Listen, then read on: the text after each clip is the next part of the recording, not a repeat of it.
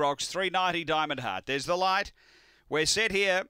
Uh, race four, heat three, SA Sprint Championship. Ready?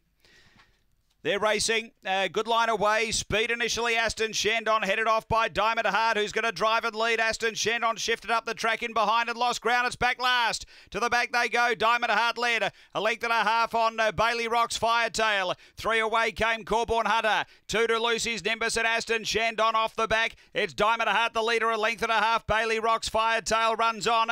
Up to the turn. Diamond Heart in front. Firetail moves up. Diamond Heart. Firetail going home. Massive drifter in the market, but gets the cash easily. Firetail beats Diamond Heart. Uh, third, Bailey Rocks, and then Aston Shandon, Corborn Hunter, and Lucy's Nimbus back at the tail end.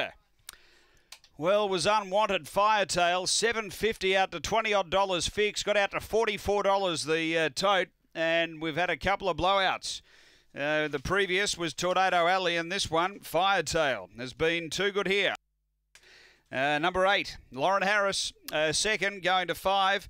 Diamond Heart for Lisa Rasmussen. And third to seven, Bailey Rocks, Bill Wadarchik. Really strong to the post as well there. Eight, five, seven, one, 20.